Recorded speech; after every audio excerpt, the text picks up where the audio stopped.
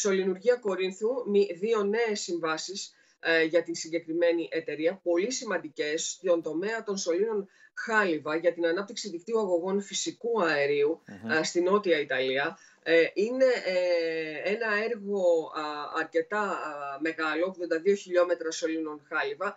Η Synergy Holdings, στον οποίο ανήκει η Σωληνουργία Κορίνθου, είχε επισημάνει και στις αρχές του εξαμήνου ότι ε, υπάρχει μια ε, έντονη ε, κινητικότητα ζήτησης για τους σωλήνες χάλιβα και αυτό είναι πάρα πολύ σημαντικό.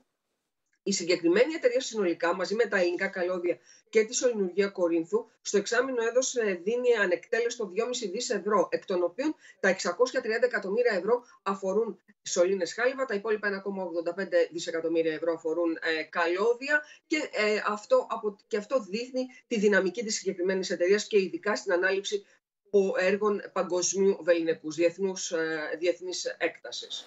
Λέτα, και να περάσουμε σε μία... Πριν πάμε, πριν πάμε, θέλω το αναλυτικό σου σχόλιο. Αυτές οι δύο νέες συμβάσεις για τη Σολυνουργία Κορίνθου είναι ε, μετεχμιακές, δείχνουν το πέρασμα σε μια άλλη φάση ή απλά έρχονται να συμπληρώσουν ούτως ή άλλως μεγάλα έργα; Όχι, ε, είναι έχεις πολύ σωστή η παρατήρησή σου. Ναι, είναι, θα μπορούσαμε να, το, να, το, να τις χαρακτηρίσουμε και έτσι όπως είπες. Είναι ε, επιβεβαιωτικές θα έλεγα mm. εγώ της σημαντικής δουλειάς που έχει γίνει και στο R&D αλλά και στο εργοστάσιο α, της σωληνουργίας κορίθου για τους α, σωλήνες χάλιβα και κυρίως για, το, για τη θέση που επιδιώκει η Energy Holdings σε μεγάλα ενεργειακά έργα ε, της ε, διεθνώς ναι. για, και, να, για να μπορεί να τα διεκδικεί με αξιώσεις. Και αυτό την επιβεβαιώνουν. Αυτή η ανάληψη την επιβεβαιώνουν.